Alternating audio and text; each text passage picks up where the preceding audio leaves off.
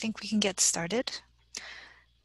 Hello, everyone, and welcome back to City and Regional Planning's uh, biweekly regional uh, research seminar lecture series. Today we have the honor of having Professor Kate Lowe from University of Illinois Chicago speaking with us and it is a session that has been organized by um, Professor Nick Klein and he will be introducing our guest just before I hand it over, I wanted to call out, as you can see on our shared screen, the upcoming lectures that we have in our series. The next week's lecture will be a colloquium lecture with Professor Julian Agyeman of Tufts University speaking on just sustainabilities in policy, planning, and practice. He is one of the foremost leaders on the issues of equity and sustainability, and I anticipate he will be able to deliver a very interesting and provocative talk on some of the contemporary issues of our time. The next research seminar series that we have will be with Professors Mark Lubell of UC Davis and Professor Xavier Basurto of Duke University. And they'll be talking about the future of commons research and planning. Both of them have done significant research, especially in areas of natural resources. Xavier Basurto on fisheries in Mexico and Central America, Mark Lubell on a whole range of issues from agriculture and climate adaptation, sea level rise to water systems management.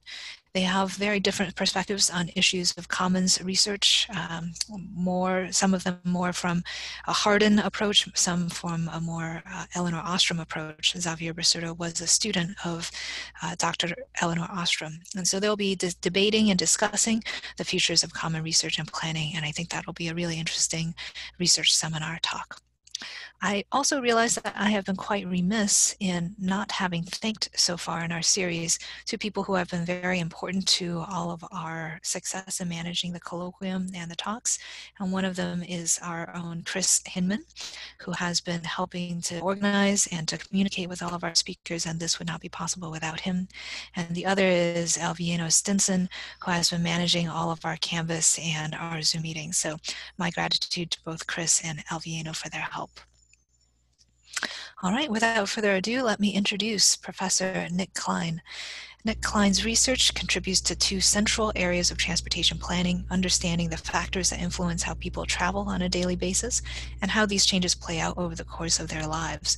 His work focuses on marginalized populations and neighborhoods that use transit, walk, and bike at high rates.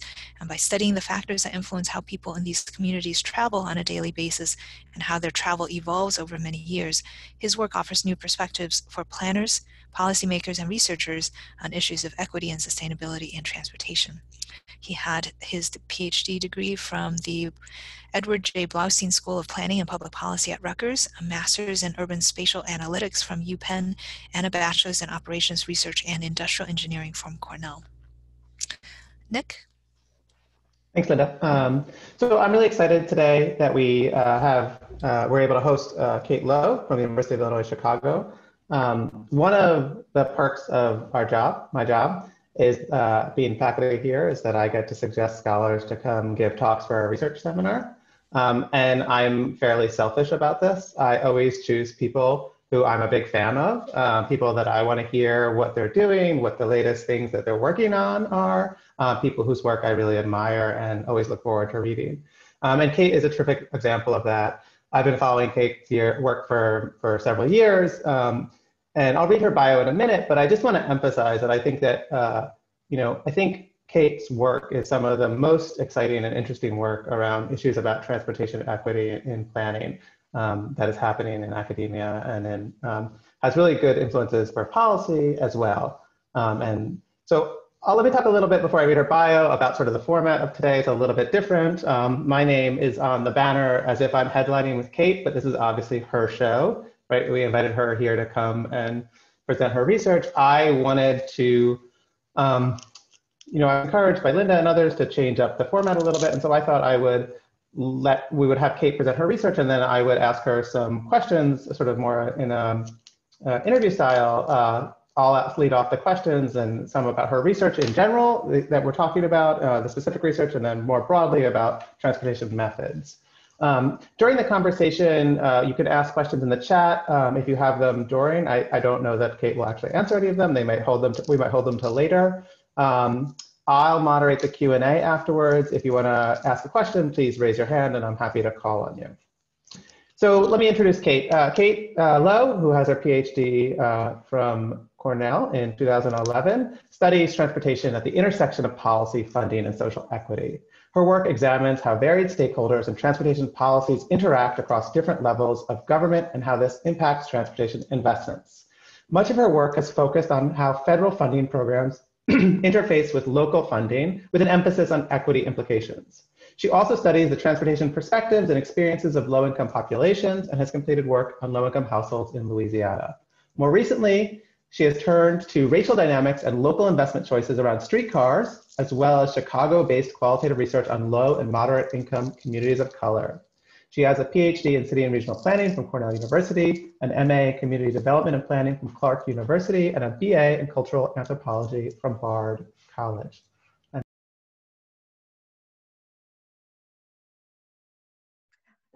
Hi, I, I think I'm at the tail end, but you muted yourself, so I'll take that as a cue that I'm on.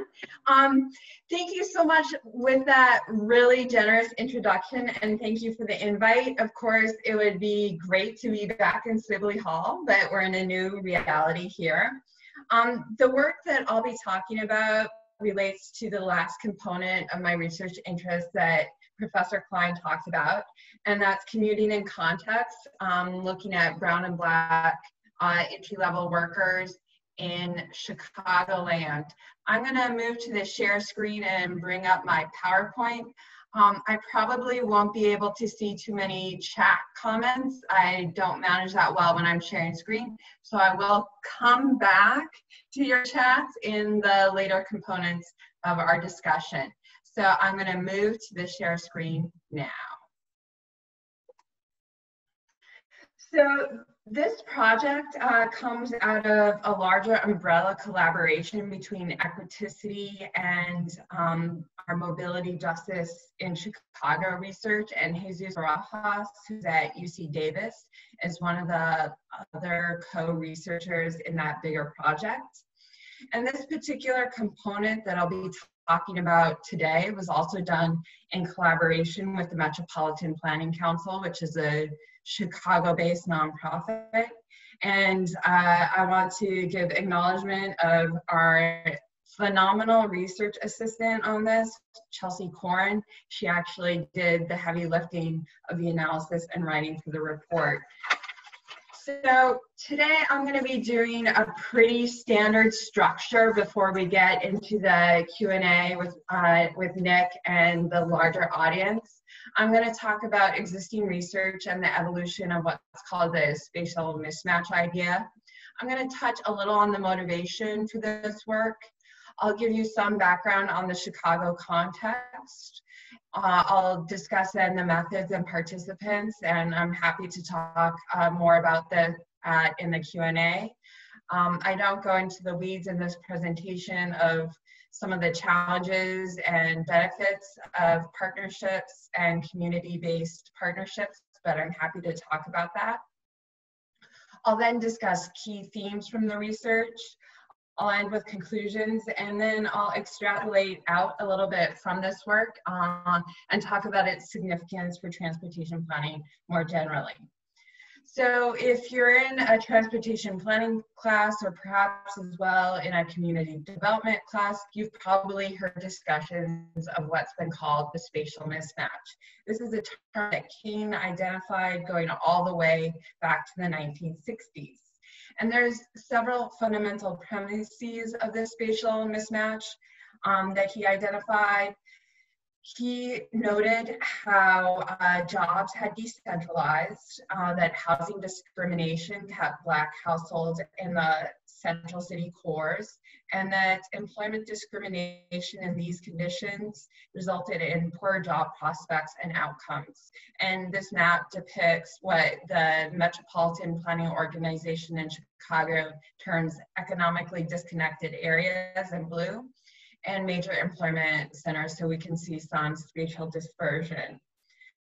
And while some aspects of the spatial mismatch remain true to today, and we'll talk about some critiques, we've actually seen a lot of suburbanization of low-income households, as well as Black and Brown residents.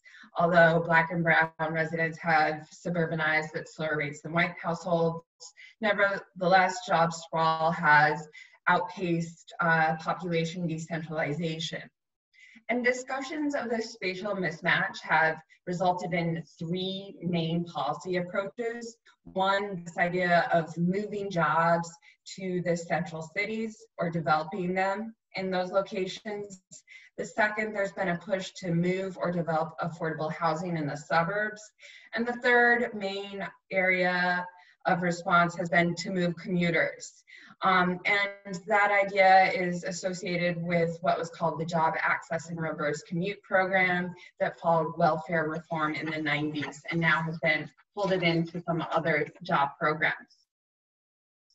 Responding to JARC and other interventions to support reverse commutes, Evelyn Blumenberg, now almost 20 years ago, pointed out that a long reverse commute to the suburbs might not align with the preferences, choices, and constraints of current and former welfare recipients. She pointed out that women welfare recipients frequently choose work sites close to their home locations or childcare, um, and that they have childcare and other household responsibilities. Furthermore, um, and I'll explain the context for this map in just a moment, uh, she pointed out that central cities are still sites where there's high density of jobs um, and have many entry level jobs that align with the skill sets of welfare recipients. Um, and what this map shows, it's from the Smart Location Database uh, that is not being updated but had a whole rich set of layers available um, easily. What this map shows is the number of jobs available within a 45 minute transit ride. And we see here in DC that the very center and the district overall has great job access relative to the suburbs. However, um, the central city advantage is complicated by escalating housing prices. I've actually uh, have a forthcoming paper that looks at Washington, D.C and uh, DC housing prices and other shifts have escalated and there's actually been a dramatic decrease in the share of Black city residents. Um, as there has been in New Orleans, which is depicted here. Um, and this is from exploratory research I did several years ago. Um, uh, the focus on reverse commuting and a spatial mismatch between central city residents didn't align with what I found in interviews in New Orleans. Um, this map shows employment density and we can see it's darkest uh, near the river. Um, and that's the Central Business District and French Quarter that some of you might be familiar with.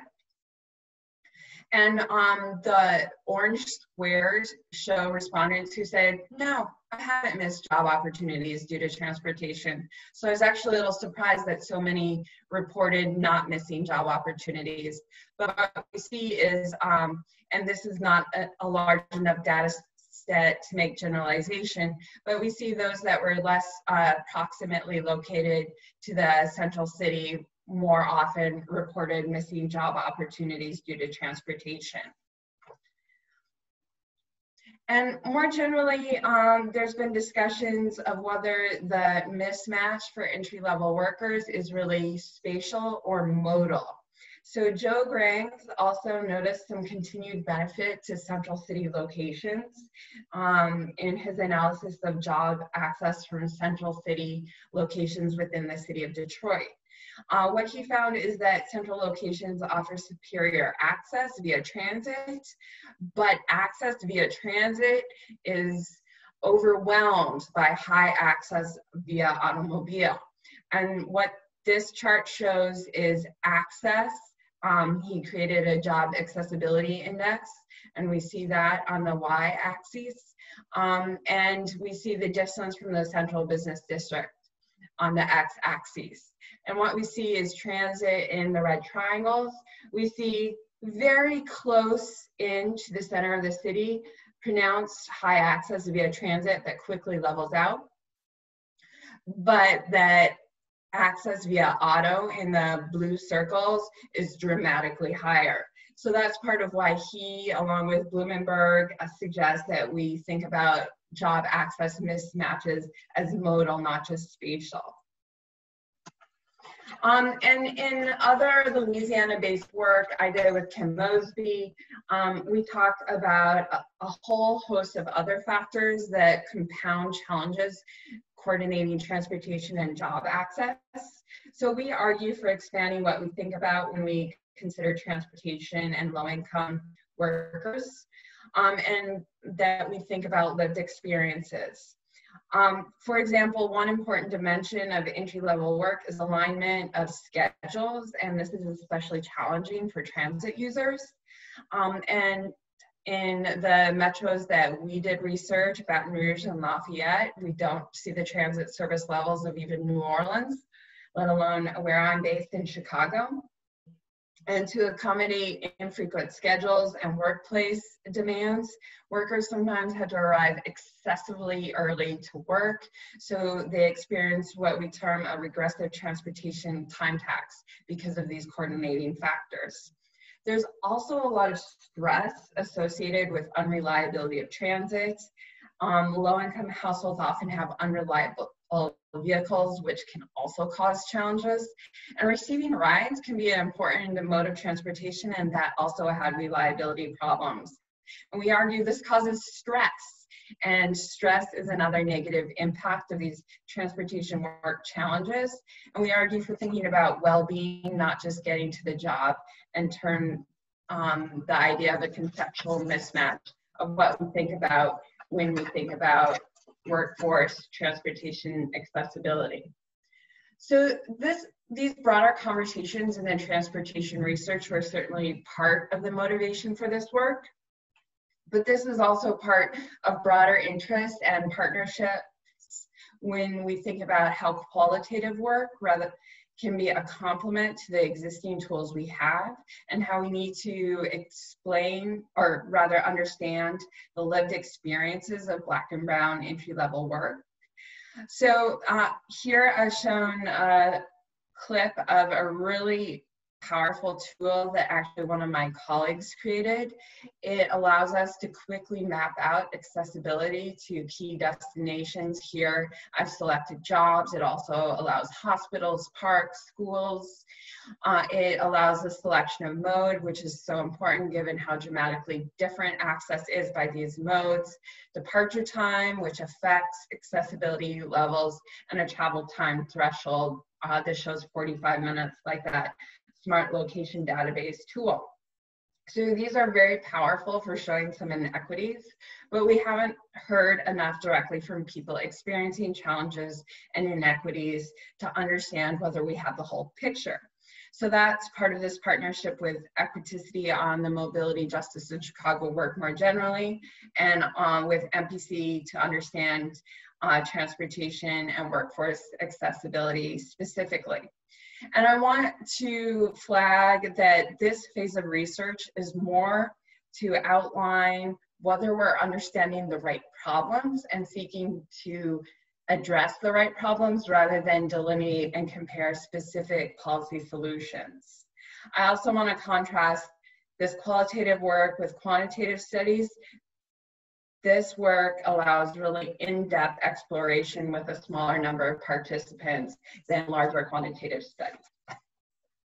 So now I'll give a little more background on Chicago. Um, unfortunately, I didn't adapt for Zoom viewing, so depending on the view, you might have a little cutoff on the right, so you might not see where the lake is in Chicago.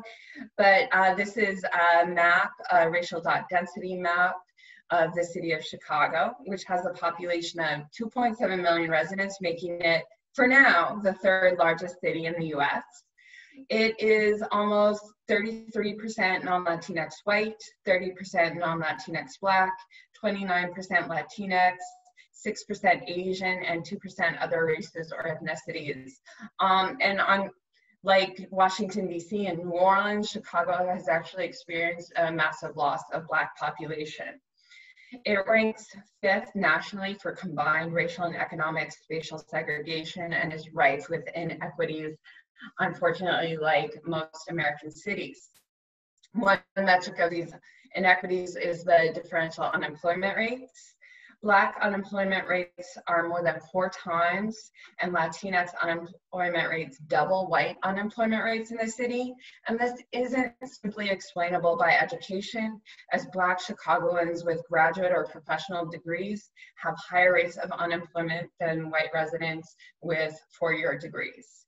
And this map shows the stark but nuanced racial spatial divides in the city. Low and moderate income Black and Latinx residents are concentrated on the south and west side of the cities.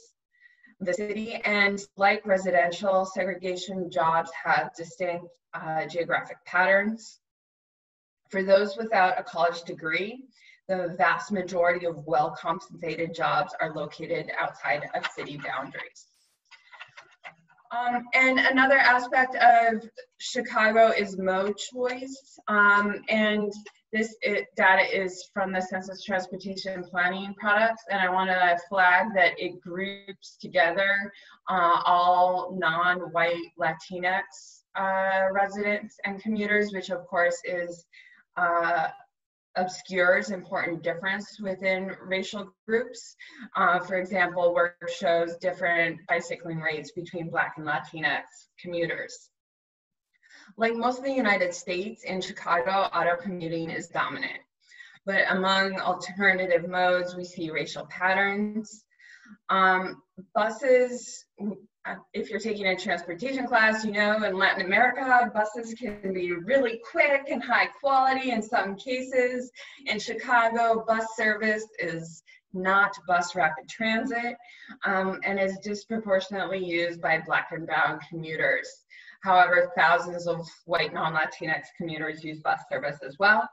Um, and the L is the local term for the heavy rail system, which is disproportionately used by white non-Latinx commuters, although of course not exclusively so.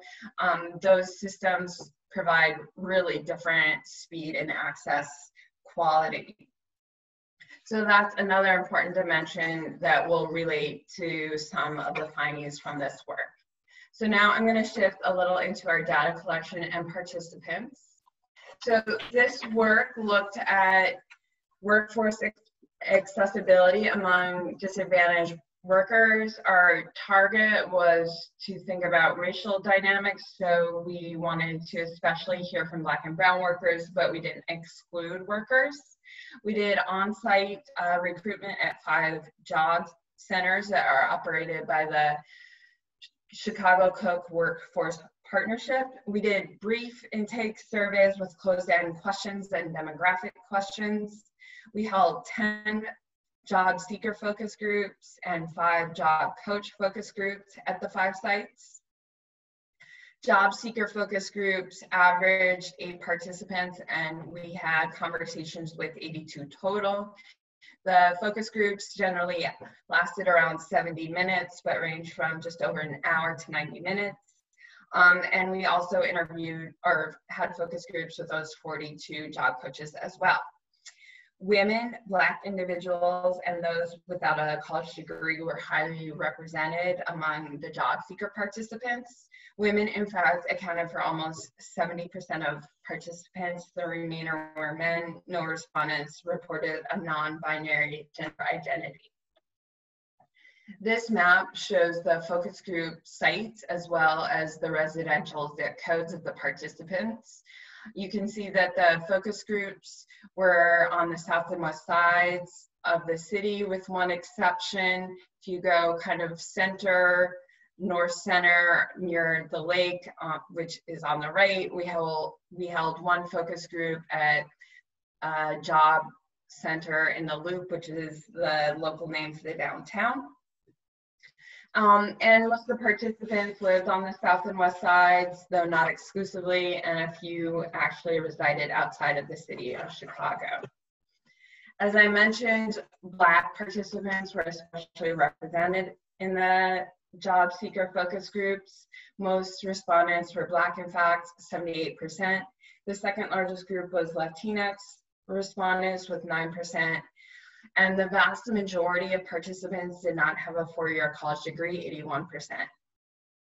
Over 90% reported a household income below 50,000. That was kind of a demarcation of the approximate median income of the city. A significant majority, actually just under 71% of respondents reported an income of below 30%.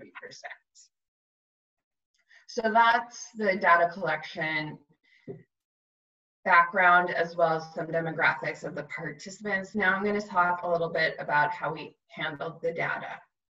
So we recorded and had each focus group transcribed, and we used the inductive collaborative coding process. So our research partners were essential in identifying key themes. We all read all the transcriptions and made lists of what we thought the most prominent themes were. Um, and the transcriptions, rather than predetermined categories, determined what we coded in the transcriptions. Uh, Chelsea, the research assistant on this, did the important and sometimes unexciting work of going line by line in the transcriptions and flagging every time a theme came up so that we could then query those themes and summarize them. There's a, a report online that details the findings in each coding category we created codes separately for the job coach transcriptions versus the job seeker transcriptions. But as this Venn diagram shows, there were some themes common to both types. So I'm not going to go through every theme, um, although I'm happy to point people to them. I'm going to talk about some major cross-cutting themes and how they relate to policy discussions. So this image shows a PACE bus, which is the bus service that serves Chicagoland suburbs, and this respondents talked about. They said if you're putting in, let's say, an hour and a half, and that's minimum of pace time from home to any job, that's three hours there and back for an eight hour shift, you have to really wonder how much of your day that occupies. So this time example and other aspects of the experience, often two hours of commuting, showed that for respondents, transportation is a significant burden. They reported commute times that are far beyond the standard metrics of 45 or even 60 minutes used for assessing job accessibility. And this is in part because of buffer time for aligning commutes with workplace scheduling and as well concerns with reliability. And those with disabilities had added challenges. As a result, almost three quarters of respondents told us that transportation barriers kept them from getting or keeping a job. That question was in that brief survey that we used uh, upon intake for the focus groups. So Respondents reported serious problems with the transit experience, including cleanliness, ease of transfers, fare payment, reliability of service, time burden, maintenance of elevators, especially important for those with disabilities, information and security, which we'll talk about more in a few slides. That's why we argue enhancements for the transit customer experience are critical. If it's a poor experience, workers may dismiss transit as an option. This therefore hurts ridership levels for the transit agency and job prospects for workers. More funding for transit is needed to address the customer experience factor that the transit agencies directly control, along with partnerships to address the contextual factors that significantly impact the customer experience, but are outside transit agency control. And as I said, we'll come to that a bit later. Um, and we had a, a question in the focus group guide specifically around bicycling and walking. And because of that question, biking and walking came up in every focus group. However, outside of responses to those specific questions, respondents hardly ever brought up biking and walking. Very few walked or biked to the focus group sites, less than 8% combined. Respondents specified some improvements possible for each mode, but yet the tone of the conversation was they didn't really see biking and walking as viable modes for job access. even though some respondents, uh, like policy discussions, recognize health benefits of active transportation. But the focus group participants identified different safety barriers to different modes. For bicycling, participants repeatedly noted traffic danger and a lack of infrastructure that would support it. That's why I chose this picture. Um, so this is a major street that goes almost all the way to the loop and connects to the loop. Um, and this is a picture from a Southwest side community, a majority Latinx community. Um, and what I've done is I've blown up by that white van. There's a bike rack that is empty because the infrastructure and the landscape for biking poses significant traffic risk. For walking, however, a different type of safety concern came up. That was danger from violence or crime, um, and respondents wanted to feel more safe. In addition to these safety issues, respondents talked about simple proximity problems.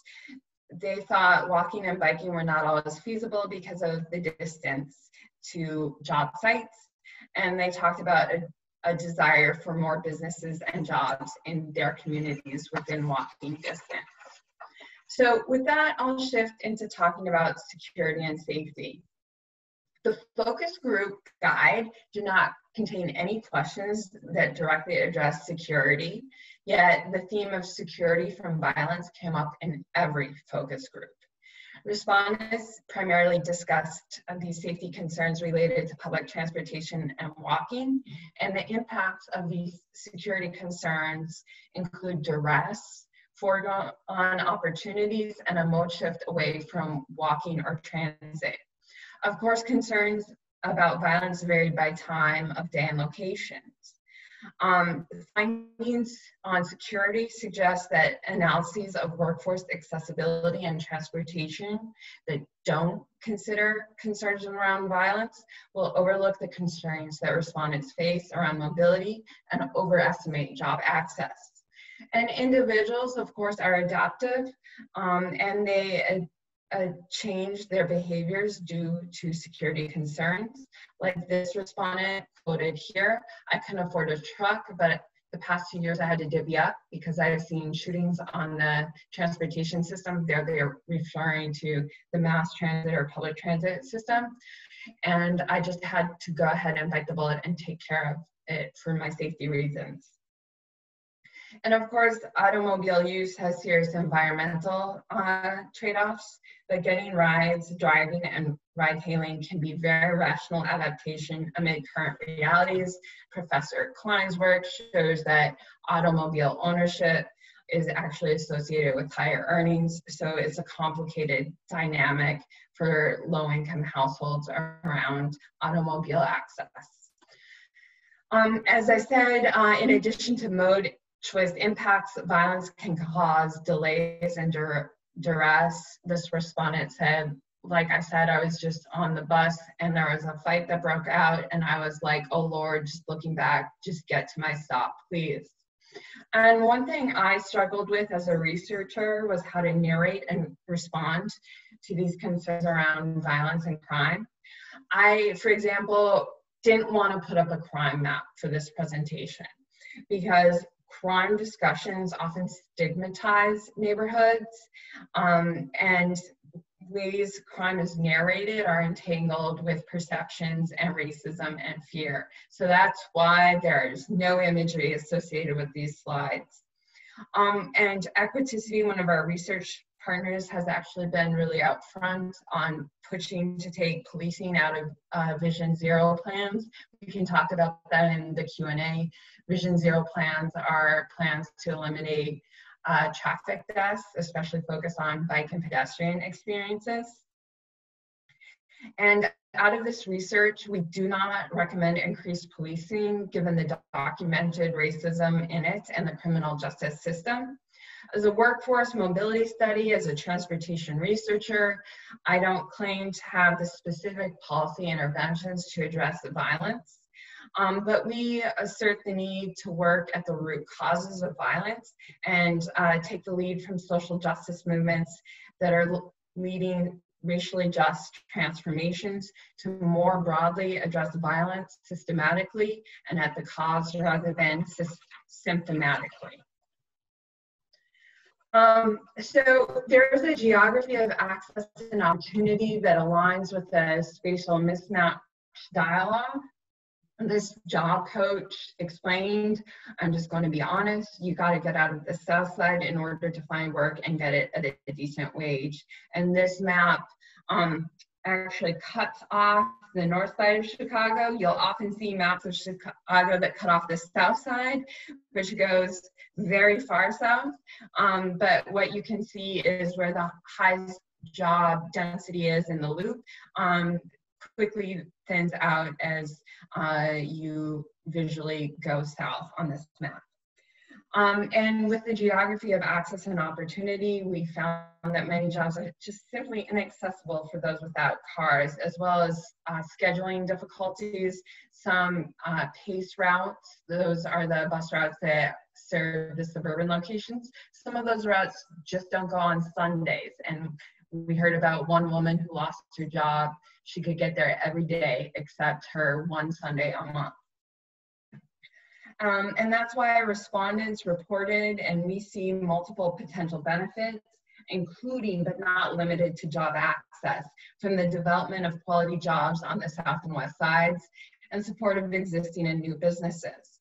We envision a scenario in which a suburban commute for quality work is a choice rather than a necessity. And respondents are cognizant of inequities um, here's uh, the Belmont station depicted here. Uh, the Belmont station is part of a project of over a billion dollars to increase frequency on the north side, several miles north of the loop, and it is served by three different train lines.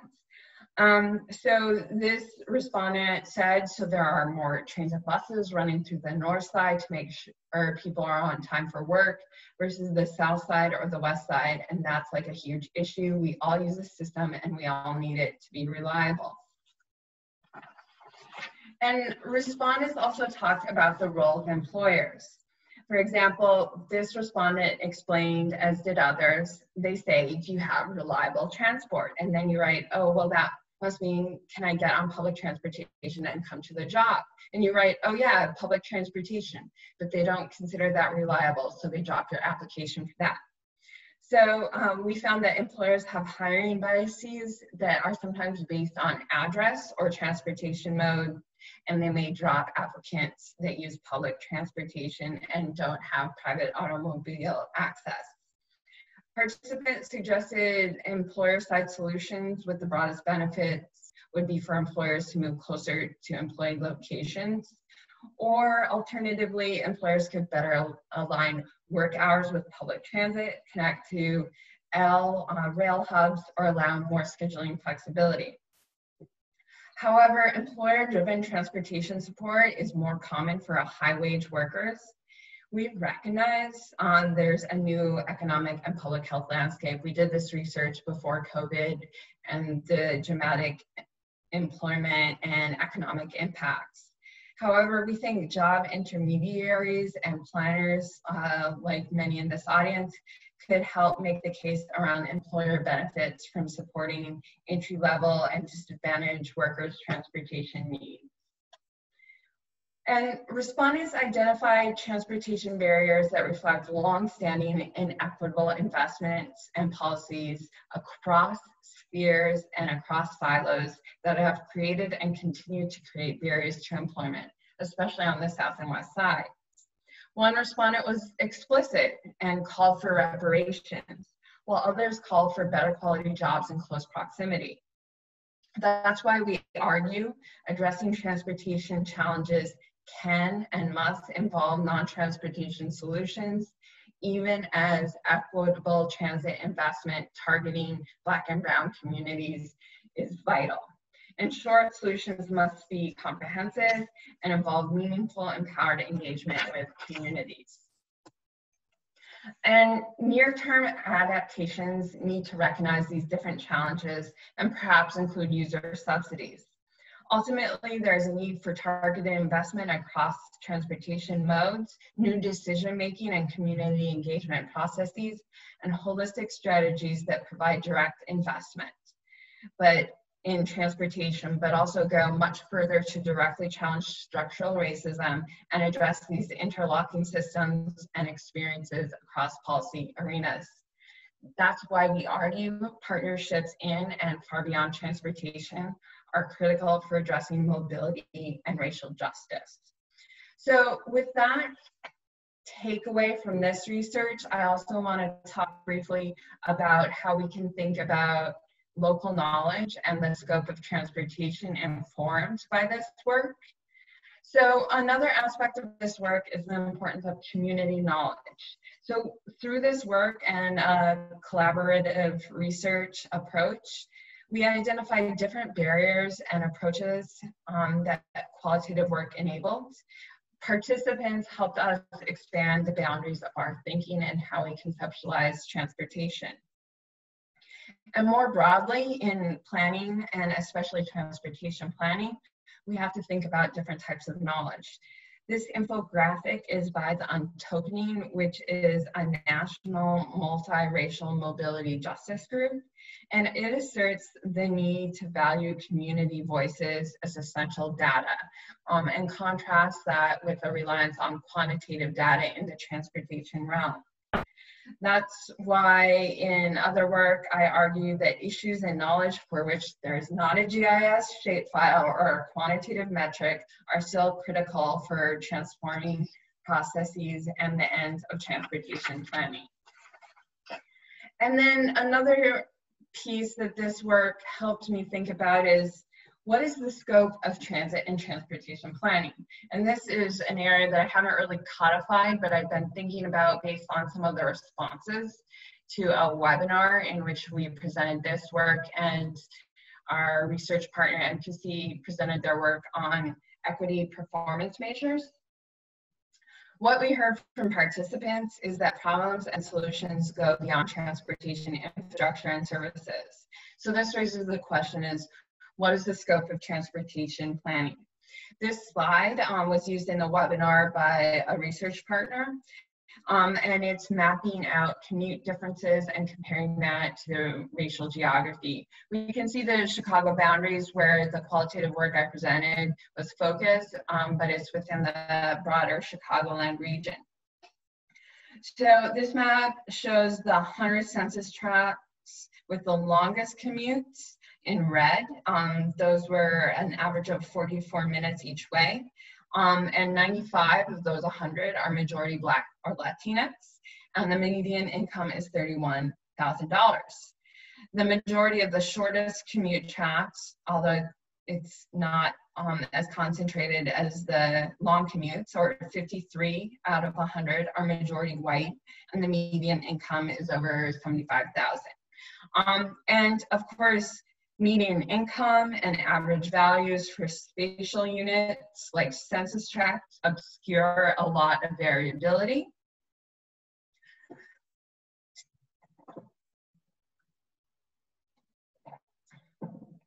But um, still give us part of a picture of commute burden. And um, a prominent transit planner in response to this said it conflated transit problems with spatial and land use problems. Um, and I similarly talked to one of the alums from our program who was frustrated by the use of this slide as well, since uh, these inequities and commute modes and racial patterns reflect mode choice, who's driving, who's using transit, and land use patterns and locations of employment, these inequities aren't solely the cause of transit provision.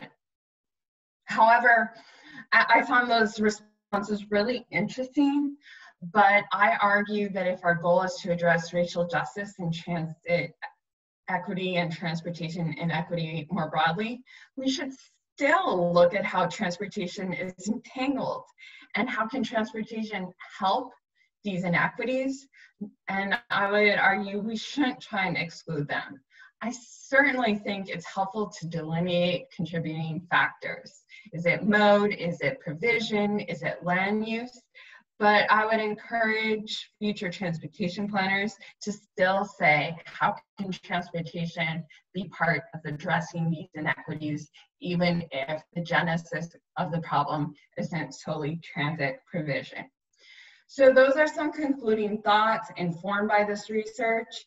And with that, I am gonna stop screen sharing and give it over to Professor Klein to hear some responses and questions.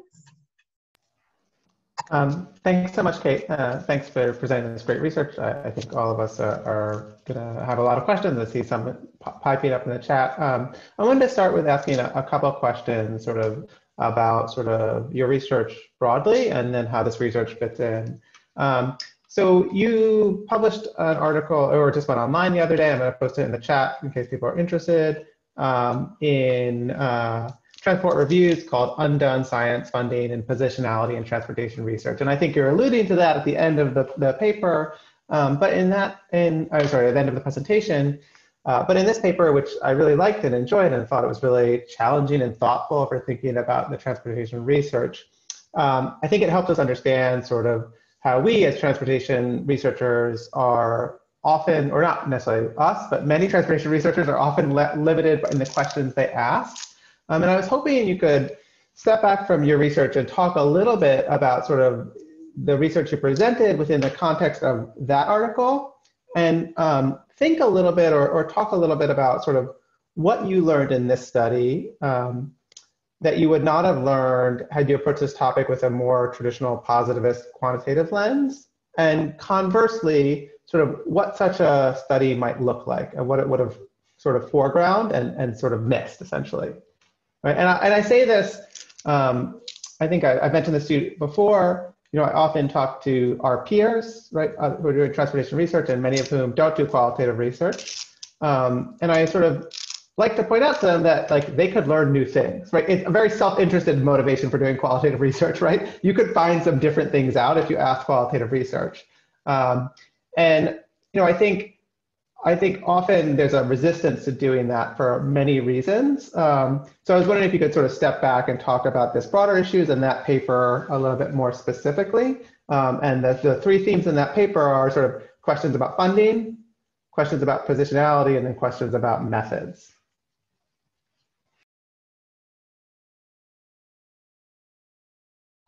Okay, I'm going to try and tackle that, um, but feel free to ask follow-up if I don't hit on all the themes embedded in that. Um, I'll first talk a little bit about the evolution of my thinking. So I think this work helped me understand more where one of my advocacy partners was coming from. So um, my advocacy research partner, and this is Equiticity, um, which was founded by Obai Reed. Um, and I first connected with him because of his work uh, to get policing out of Vision Zero. And his powerful work on racial violence and anti-blackness in policing made me really rethink how I had accepted the paradigms of enforcement as part of promoting pedestrianism and bicycling. So that's how that relationship began. But what I heard him talk about was all these issues, even though he identified as being focused on mobility and transportation. And going through this work and partnering with him um, helped really evolve my thinking about how broadly I needed to think about transportation and lived experiences.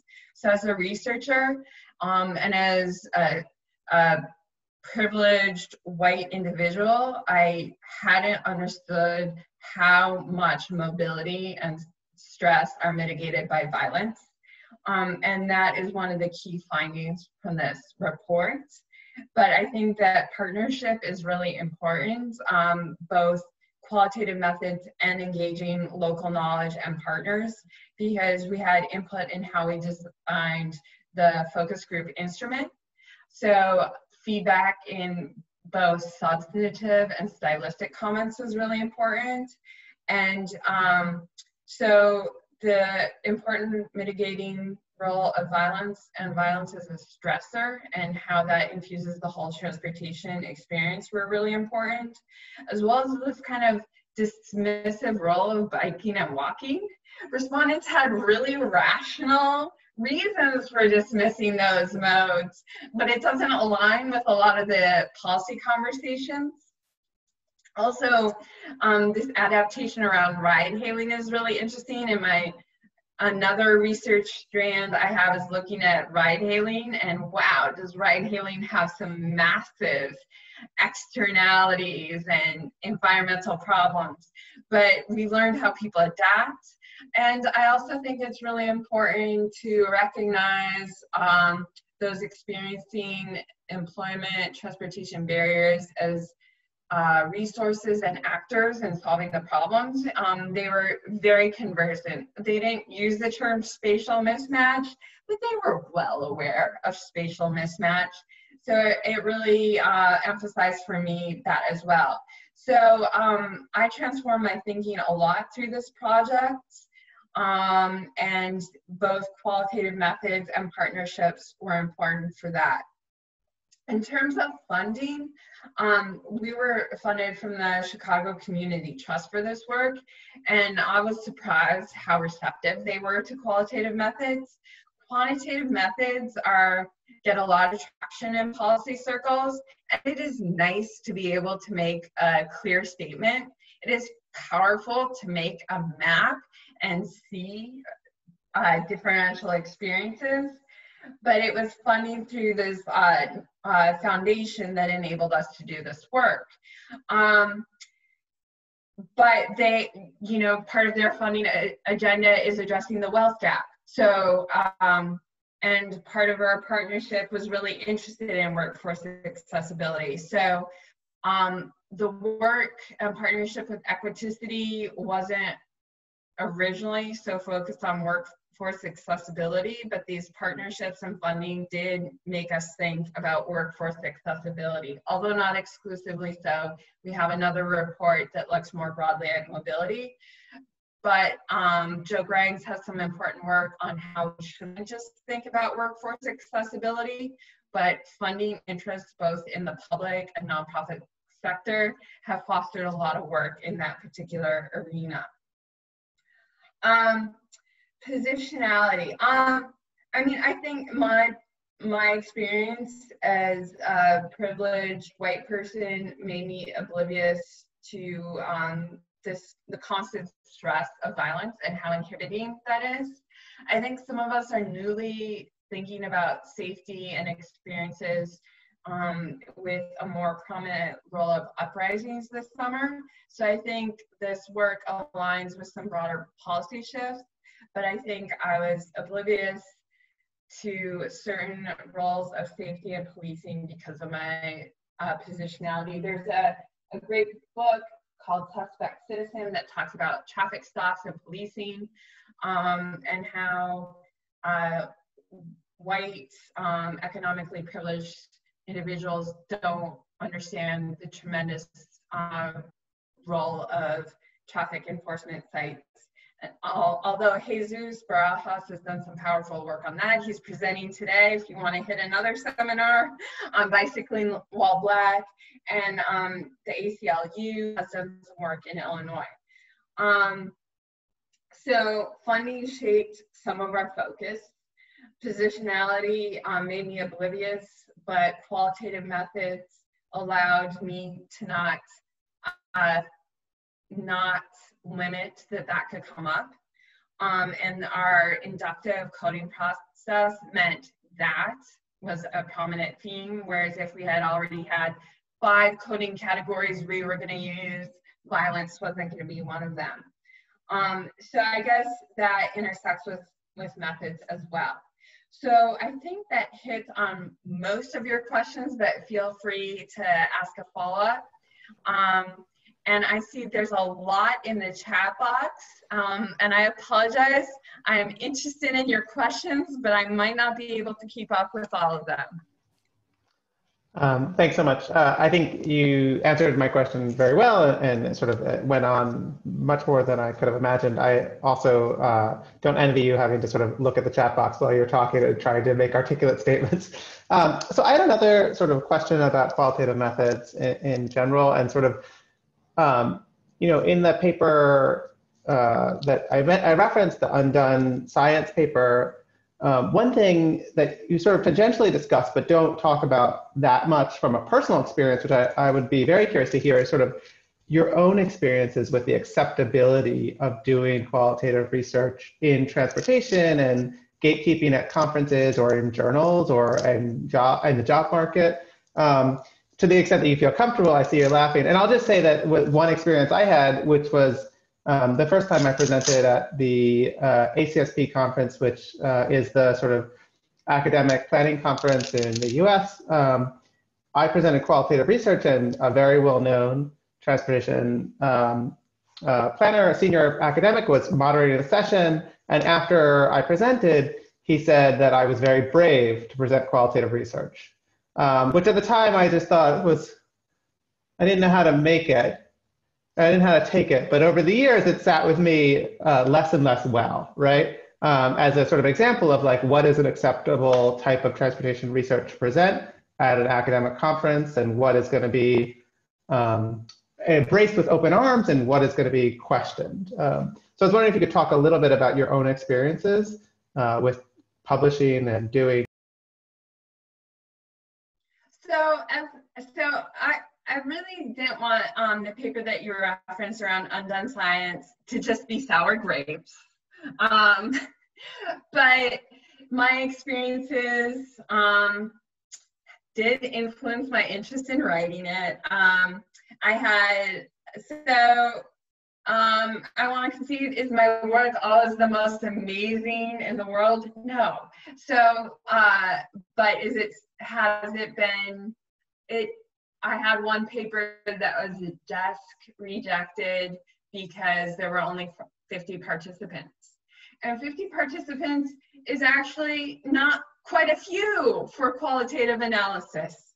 Um, but it's the same response I got from um, someone at a conference when there were like 50 participants. So um, that's why uh, I added that component earlier on when I was talking about the methods of contesting qualitative and quantitative. Because I don't want to hold individuals responsible for dismissing a small number if they've never heard that a small number makes sense for different kinds of studies. Um, and so my goal in the paper was it a little cathartic? Yes. But the bigger goal is to start a conversation and how can we value different contributions. Um, and I cite work by Ann Forsyth, who talks about different cultures within planning.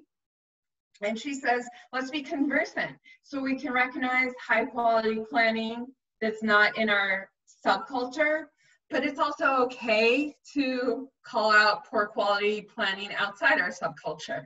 But let's understand different markers of quality for different types of work. And uh, let's also recognize different values for different types of work. Um, and one thing that's come up with uh, my research collaborator and advocacy organization is how powerful quantitative, well, GIS maps can be. And we very much expect a whole host of different transportation metrics to be the same map again. And I saw someone post about this in Chicago again. You'll see the same patterns in Chicago again and again of south and west sides not getting equitable investment. But there's a couple of reasons to still do those maps and to use those tools that rely on quantitative data. One is sometimes we get unexpected answers. So it's still important to do the analysis because sometimes we get surprising patterns. And secondly, they're really powerful and being able to cite and show that data is still really important. So, and um, I saw some that map I used of my colleagues' work about job access. I think it's an amazing tool. I saw it on negatively characterized and I don't want to suggest that it's not an amazing tool. I just want to recognize the value of other methods and frameworks for broadening the discussion. Uh, great. I, I, think I have maybe one or two more questions before we open it up and let other people talk. I don't want to dominate the, the time. Um, I wanted to know sort of if we think about uh, qualitative methods, right? Um, I'm thinking about training and pedagogy for transportation planners, right? Not just academics, but planners writ large. But I think often when we look at transportation classes, um, or what I've seen of transportation class, classes, they rarely utilize quantitative methods, but they might take uh, some sort of data analysis perspective, right? There might be some sort of problem sets or some sort of data that people have to analyze, some expectation. There are often classes on using specific modeling software, right, or suites of software. Um, but rarely do I have I seen um, transportation planning classes uh, use explicitly use qualitative methods um, as a way to train our planners. Um, and I wonder, or train, train new planners, and I wonder if you could talk a little bit about what that might look like and if and how you have done that um, or are thinking about doing that in the future. So in my teaching, I haven't done a method specifically for transportation planners, um, but I think it's relevant for planning largely. I, not all of us are going to be GIS specialists, and not every planner coming out of a pro program is going to focus on qualitative methods, but it's good to have some exposure across the board. And I think because of some disciplinary traditions and the field's origins in predicting and providing where roadway infrastructure should be, there's been a focus on modeling as the skill. Um, and there's a lot of interesting discussion around that, but um, I think at least the knowledge of the potential of other methods is important. And there's a volume that came out a little over 10 years ago by Gaber and Gaber around qualitative methods for planners. And I think that's a really useful volume. And it has a narrative of how each method gives you a different slice of the cake. So um, I think uh, having students recognize there's multiple types of knowledge and having uh, humility around any particular type of method is, is a good starting point. We don't all need to be specialists in everything. But I think it's important for planners, regardless of their subspecialty, to at least um, see value in different types of methods for different types of questions. And I really like the idea of planning as a field where individuals get a solid background and interconnections, not just the subspecialty. Great, thanks so much, Kate. Um, let's turn it over to questions from the audience. I think there's, I'll read one or two and then people can, um, or can raise their hand if they want to ask questions live. Um, so Jack Lynch asked about uh, the impending red line extension mega project mentioned and uh, was the was the project mentioned by any of the focus group participants? Um, as a, and would that influence any of their travel behavior and their commute trips? Um, so I, I can't remember um, how frequently the red line extension came up. What came up a lot was slow bus service. Um, and there's some work um, by a woman, um, Gwendolyn Purifoye. I, I'll I'll type her name because her last name because I'm not sure on the pronunciation. Um, but she maps out the inequities in the Chicago system. The L service goes beyond city limits on the north side, a little bit on the west side to two affluent communities, and stops um, miles and miles um, ahead, away from the southern border. So the red line extension would dramatically speed travel for many users who now have a slow component of travel. However, our work shows that the infrastructure has to come with other types of investments because if individuals don't feel safe accessing transit, then their mobility improvements are not as dramatic. Um, people adapt to those safety concerns by using cars to access transit. Um, and so there's some interest in transit-oriented development, which has all kinds of interesting dimensions around gentrification and community empowerment, but there's also this tension of how do we enable access to the red line extension um, and have people feel safe. Um, but it's very much something desired by Southside residents um, um in policy arenas. Um, Nick, thanks for putting Gwendolyn's full name in. Um, uh, so it would be marked improvement, um, but needs complementary policies as well. Great, uh, thank you so much. Uh, uh, Nima, I don't know if you want to answer your question. I can read it if you'd like, um, but I might not do it justice. Oh, sorry, Nick. Hey, Kate, how you doing? Um, I, it wasn't a question, Nick. It was just a comment. Classic academic. no, no, I, I am so glad to see this work because, like, like you pointed out, right? You know, talk to a transportation planner, and if you're doing qualitative work, you're somehow written off. And so it's so wonderful actually to see Joe and Kate and you, Nick, you know, sort of starting to make real inroads into into this work because I, I think it's really crucial and I think it's really cr- uh, critical actually for our students to hear that this is important work and that this is and the way in which you know this sort of as Kate pointed out the way in which these methods come together to generate new questions and to sort of open up issues is super important. So yeah no thank you. It was just an, an appreciative appreciative comment. That's what it was Well, that's very much accepted, and so it's good to see you.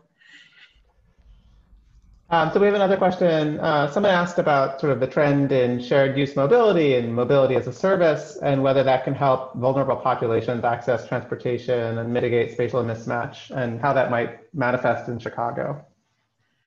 Um, so there's actually a so as an academic, I get to be a cynic. Um, so there's actually a PhD student in our department who's really interested in this, and I've seen some interesting European work too about mobility as a service.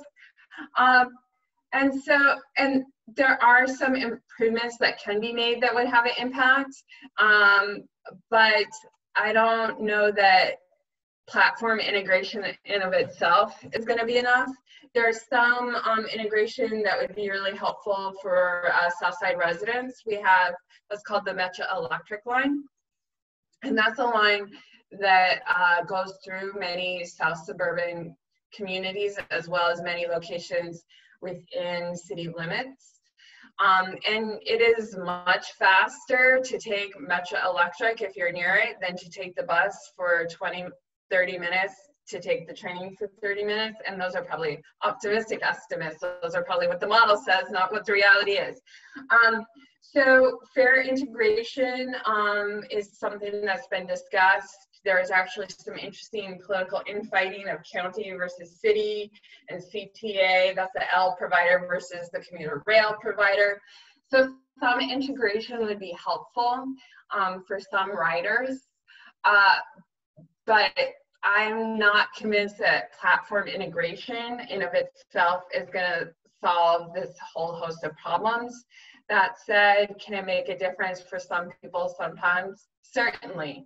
Um, I'm really interested in scooters. I have a project on scooters and ride hailing because they have very different environmental externalities, but are both tech disruptors.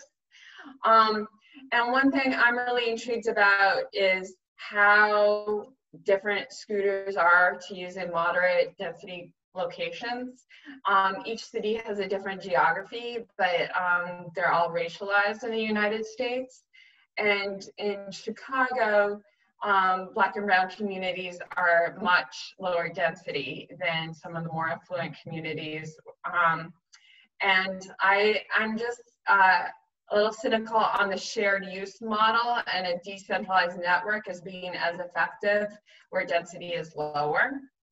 And so I think that's a good example of how could we rethink models to fit different contexts. I'm really interested in the idea of individual subsidies when instead of telling someone to walk to a scooter that's going to be a half a mile away because you're not in a high density area? What about just subsidizing an individual scooter? So I think we have to think about different models with new technology and we should absolutely demand that they are equitably provided. But the same model provision that works in like these affluent, predominantly white, dense neighborhoods in Chicago is not going to necessarily fit the needs in a different community. And that's why Black and Brown voices need to be central in shaping policy interventions. Uh, thanks so much. Uh, David, do you want to ask your question? Sure, thanks. Um, yeah, thanks for uh, doing all this work in Chicago. I'm from Lakeview, uh, Belmont's my stop actually. I took the red line every day um, in high school, pretty much, and then the express bus down to the Hyde Park. But um, but yeah, I was. It strikes me just having used CTA a whole lot that in many respects, like the service quality is the same. You know, the red line's the red line. The buses are equally slow everywhere unless you're on the express bus but like the the platform you know but like the stops just the the infrastructure sort of like you know the stairs going up to the raised lines or down from the north side to the south side or like midway stops the yellow line or whatever that is green line like are really bad on the south comparatively like just really much more run down which speaks to your investment uh you know uh uh, analysis. But but so I was just wondering, like, um, um, especially given, I, I, was wondering what you might was if you could uh, tie in like the raising of the bridges, if there's some sort of sort of symbolic, i.e., uh, this past summer with the protests, um, that like um, people from the south and southwest sides almost aren't allowed in the loop um, which then influences influences uh, perceptions of safety. Uh, but also, like, do you think a, if the critical mass of riders were to use the line, like that, that number of of of uh, L users would go up on those communities? I don't know if that's a really coherent question, but there, there's a lot of rich material in there. Um, so one thing I would say that uh, Gwendolyn's work. Um, if I was better at, if I wasn't in the spotlight, I'd be multitasking, uh, finding that link to her work. But um, I, uh, if you look at her on Google Scholar, you'll find it that absolutely aligns with your observations that stations are maintained differently in, in different communities. Um, the red line is very speedy. Um, I was bragging before we got on the formal seminar that I can be downtown in 10 minutes once I get to the red line, and I'm marginally on the south side. Um, the buses are slow across the city, um, but the distribution of express buses um, aligned with some patterns like Hyde Park has good service, but so does Jeffery, the Jeffery Jump. Um, that's an express service that was actually came up very favorably in our discussions. One, I mean, a big distinction is that North Side and white um, populations are concentrated near the L service and um, because of the way investments are made in the United States, we have this dual system of transit provision. Um, there's a lot that I've been thinking about um, and in conversations with some advocacy groups around the way the mayor handled uh, the uprisings this summer. Um, there were many times this summer where transit service was shut down um, and many times where the bridges were raised. In a recent town hall with Tribe she uh, said those were driven by the transit workers union safety concerns. The transit workers union president said they only asked once to pull the buses off the streets. Um, so the raising of the bridges, which cut off access in and out of the loop uh, for protesters and essential workers, um, was a dramatic show of how mobility is politicized. Um, I am trying to think and think with partners whether there's some research and conversations we want to have again around that but some of the way transit was deployed um, seemed not just about halting property destruction, um, which is so, which to me is far less of a priority than protecting human lives. But putting that aside, some of it seemed to just be aimed the optic i can't speak for the motivations of the decision makers i wasn't in the room but the optics and outcome was making it hard for people to get to protests and for essential workers who are predominantly black and brown to get out of the city. And these were sudden changes. So transportation is used as a means of, an ex of exclusion and the bridges dramatically did that this summer. Um, and I think the work, I would love to refer you to Gwendolyn's work as well as uh, the untokening. If you Google them and Google Scholar Gwendolyn, there's Gwendolyn has great resources on station inequities and the untokening has important work about mobility and immobility in the era of COVID. Thanks so much. I will post the, I think I posted the Gwendolyn's, some of her citations. I, I wasn't, I, wasn't like trying to be like. no, no, no, it's fine. I'm happy to, to, to be your, your, your uh, to take notes for you and, and help you out. Um, so I think uh, Nidhi has a, has a, one of our PhD students has a question. Uh, hi, Kate, and hi, hi, Nick. Thanks so much, Kate, for your presentation. And to Nick also on recently completing his qualitative study on car ownership. So, uh, my uh, question is more like those of us who work in the qualitative tradition within planning tend to rely heavily on the work of scholars in cognate fields like sociology or anthropology and that sort of also tends to define our collaborations. So now that you all are entering into this qualitative research space, do you think you might change your partners from more traditional engineers or operations research folks to start collaborating with sociologists and anthropologists? And how would you think that would change politics within the academy? Um, those are some great questions, and thank you for calling out uh, uh, Nick's great piece on car ownership. Um, we could have a, a, whole series on the complexities of car ownership and politics of justice. Um, so I, so Jesus, who I've collaborated with, um, his PhD is in planning, although he has some engineering background. I haven't actually collaborated that much with engineers. I think that's a reflection of my particular educational trajectory. Um, I've collaborate. I'm collaborating right now with political scientists. Um, I don't have a good answer that I can put together that um, is constructive on the fly. Um, but I would say bringing in uh, scholars from other social sciences traditions into the transportation arena, um, bringing more of those folks would be really important. Um, the field has a lot of engineering influence and um, economics influence, and I think balancing that with more social aspects and other methods could be part of changing the transportation subspecialty. But planning is such an interesting field as we have these different subcultures within it. Um, I'm just curious, what's your, uh, but I think I would have collaborated more with engineers if I had gone somewhere else for my PhD and worked with a different advisor, but I just have um, haven't taken that, that path.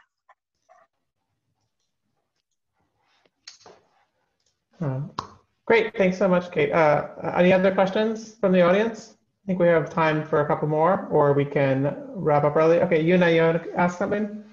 Yeah, um, thank you for the talk. It was really interesting to see how qualitative was brought into transportation.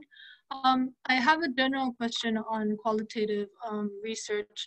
Um, so I think qualitative research helps um, to look into the more nuanced situations of um, a given um, field but at the same time, planning seems to be implementation is also really important in planning. And then there's always the resource budget restraints, and that kind of requires a, I, I think those nuance, it's hard to reflect all those nuance that are found in qualitative um, research. So um, in your research findings, how are you planning to kind of reflect those um, findings in the implementation of these transportation planning practice, I guess? Um, so one thing I really struggle with is this uh, desire on the one hand to have impact and have actionable strategy, and also this risk of rushing to solutions.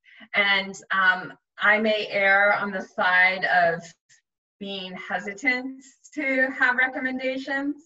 Um, as a field, I'm concerned that planning propagates best practices when we don't even yet have evidence that they reach our ends. Um, and that planning and transportation in specific sometimes identifies projects without having a good rationale for them and backtracks the rationale. So I I think there's an a, obviously a vital role for implementation, but have my kind of role be let's slow that down. Let's not rush. Um, let's make sure we're thinking about the right problems before we get to an implementation solution. But one strategy that's actionable is thinking precisely about budgets, whether it's a research budget or a planning project scope of work. What happens is outreach and engagement is often an afterthought or a small budget item. And I think we need to we recognize how expensive really innovative, important tools are, like interactive website, like that interactive website I showed, that cost, that merited resources to create and is really powerful. We have to invest on the other side when we're doing a planning project. Outreach can't be a little budget item. To do it well, we have to allocate the resources and time to it.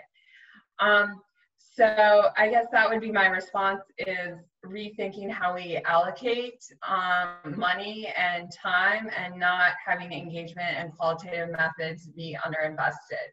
But um, that may be an unrealistic solution, um, but at least is a conversation to be had to start changing things. I recently saw a grant opportunity.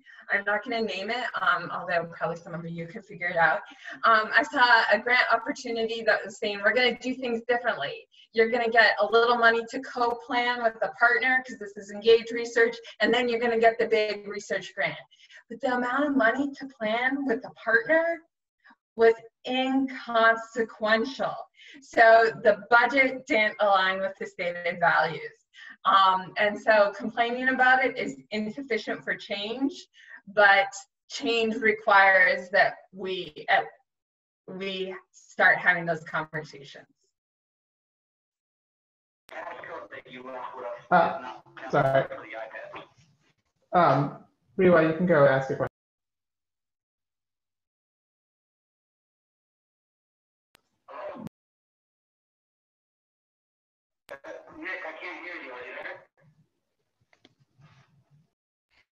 Rewa, you can go ahead and ask your question. Uh, yeah, uh, thank you for your presentation. So my question sort of builds on this qualitative, quantitative discussion, but is slightly more specific about like the tool that you shared about metropolitan accessibility mapping.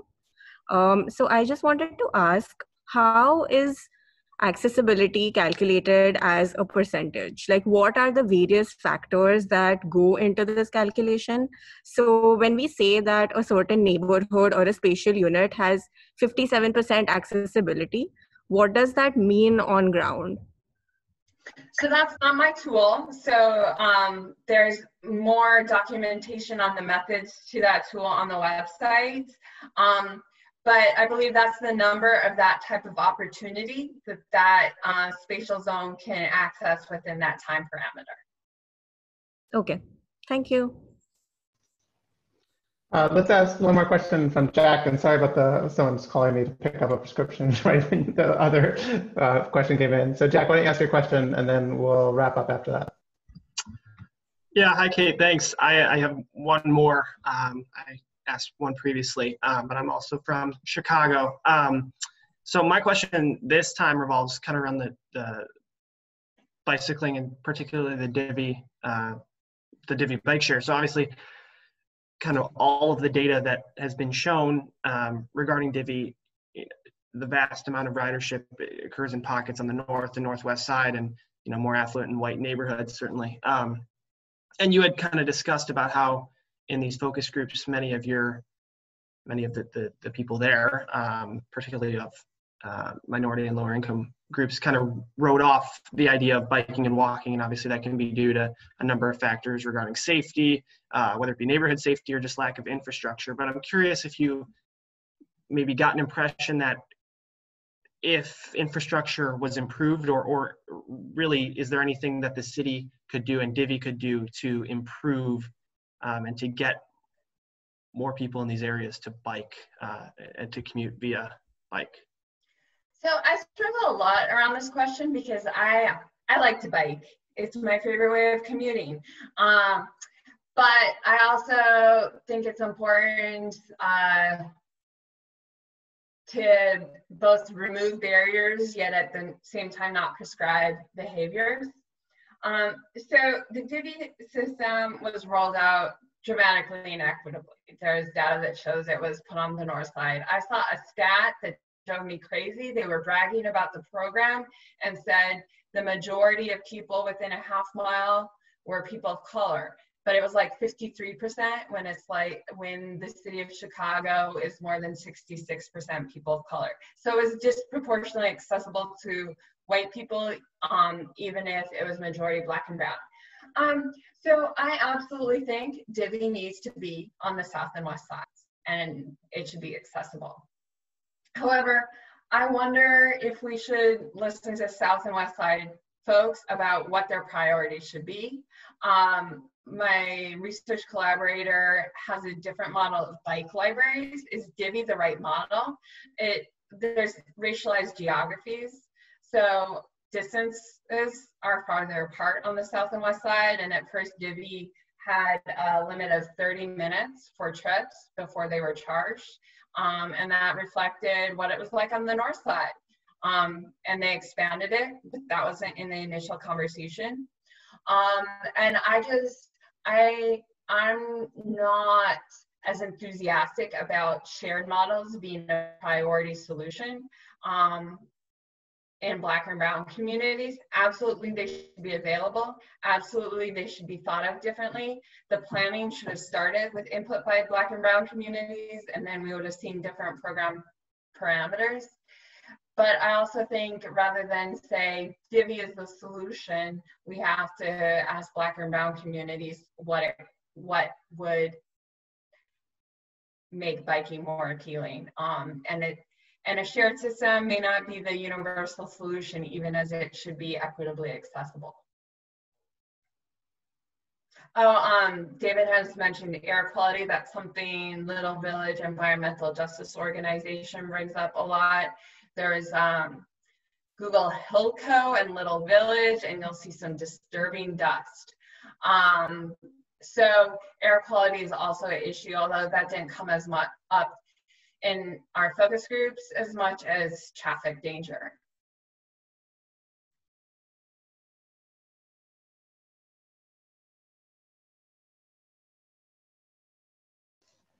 Linda, are you gonna wrap up? Sorry, I was waiting for you to call on me. You're, you're the showrunner, so I didn't want to intrude. Thank you so much for this wonderful presentation and a reminder about the political nature of the choice of research methods. Because um, in a way, what you have found is hardly surprising, uh, and it's uh, it's it's there and it could have been there for people to see and to learn about or to think about had they wanted to know and think about uh, those particular populations. So in, in a way, by um, much like how planning has traditionally thought about a general public interest by aggregating at a large n scale to spatial statistics or census or other kinds of survey methods, we lose a lot of the granularity of the specific groups on whose behalf we should be thinking and planning for. So um, I don't know whether the change of um, methods, how much impact that will be because it seems to be part of a larger system in which um, the choice of methods has long played into and benefited the distribution of land use and housing, and, and, not just transit, but really about housing and land use choices. And this plays into that, you know, we don't necessarily want to change our housing distribution. And so this, uh, know, knowing this, um, you know, it's it's not surprising. So I, I don't know whether the change of the methods, I think maybe it can play into the pedagogy and therefore into the changing mindset of how we think and plan. But actual change would necessarily be of a much more political nature of mobilization and grassroots advocacy um, and, and congressional advocacy for change in how we distribute funding. So thank you so much for calling that out. And um, thank you everybody else for joining in this lively discussion. If we can all unmute and give Dr. Lowe a, a warm round of applause. Thank you. Thank you so much. Thank you so much. I enjoyed all your questions and it was a pleasure to be back in the Cornell community. Bye everyone.